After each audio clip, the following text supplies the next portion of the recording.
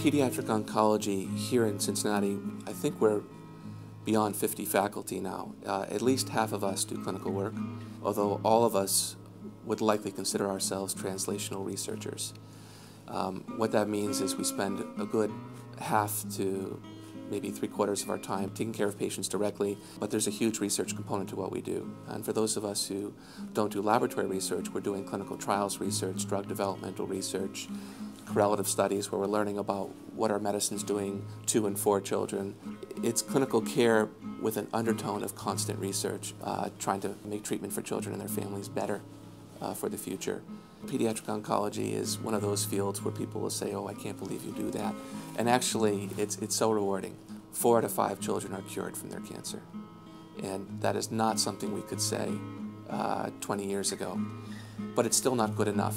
I consider it part of my job or part of my career or just my hobby, whatever you want to call it. It's my, my life's work to, to be a part of expanding options and moving forward with research. I think children have a lot to teach us, and sometimes going through a difficult period in time, those lessons become more transparent. A wonderful young girl who was 12 who was fighting Wilms tumor that kept recurring. She went on five different experimental therapeutic protocols, phase one studies. And when I finally told her that we didn't have any options left, she said, Oh no, this can't be happening. And she said, No, wait a minute. If it wasn't happening to me, then maybe it would be happening to somebody else, and that wouldn't be good. So it's okay. While none of those therapies cured her, one in five of those therapies did lead to some response.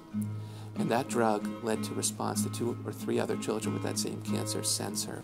I chair the new drug development for the, the Renal Tumor Committee nationally, and we are moving that drug forward as, as quickly as we can. Her willingness to participate in research, her willingness to participate in clinical trials, while it didn't cure her, it absolutely gave us insight about a drug for a disease that made a difference for other children. I believe and I hope impact how we take care of that cancer in the future.